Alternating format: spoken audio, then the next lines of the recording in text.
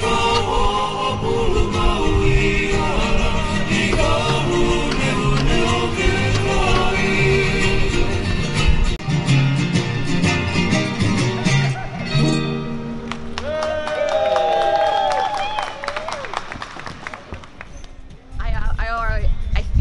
I carry a lot. I carry like the islands on my shoulders.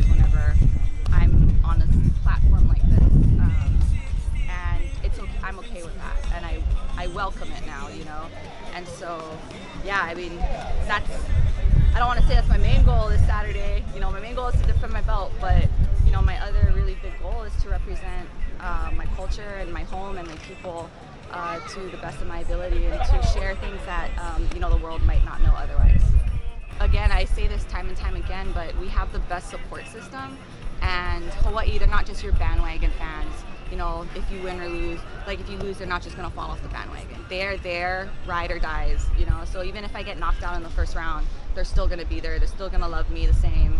And so, yeah, I feel less pressure in that sense whenever I come home. It's so much more chill this time around. First time was crazy. That was just, my emotions were all over the place. Now mine is like that now this week, but uh, yeah, it's, it's a lot more chill which I kind of prefer. It's uh, less stress.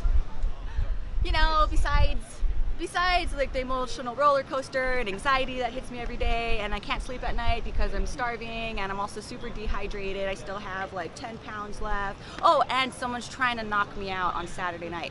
Everything's great. I feel great, guys. Uh, those are legitimate responses I give to people. So those that's a, a little snapshot of the emotions that I feel this week. Um, but I, I try to, you know, honestly, I stay focused because everybody's so positive around me that I'm just like, how can I not be grateful for this? How can I, you know, I might have that little snippet of being a biatch and then like the next second I'm like, I'm sorry, I didn't mean to.